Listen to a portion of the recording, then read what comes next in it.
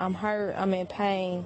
Crystal Reid's son was killed around 11 o'clock Wednesday night. She camped out on Julian Avenue in Wellston at the crime scene all night long. My son is still laying on the ground right now at 6:50 a.m. as we speak. I want to know why is my son still laying on this ground? Police say there are a number of reasons for the body remaining in place. North County Police Cooperative arrived first on the scene. About an hour and a half later, they turned the case over to the major case squad after it was determined that they didn't have the resources on hand to, to properly follow up with it. So at that point, they contacted the major case squad. Then St. Louis County evidence technicians were contacted around 2 this morning to collect evidence. It takes time for police to gather and begin their investigation of a crime scene that was growing.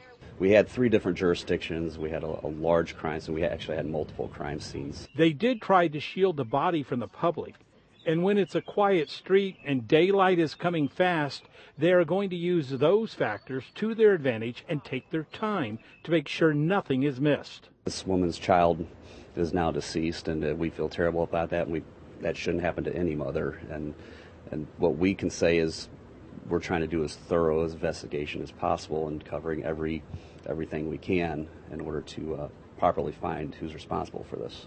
Apparently, the woman's son was killed when gunshots were fired between people on the street and the car he was riding in. Another person was wounded.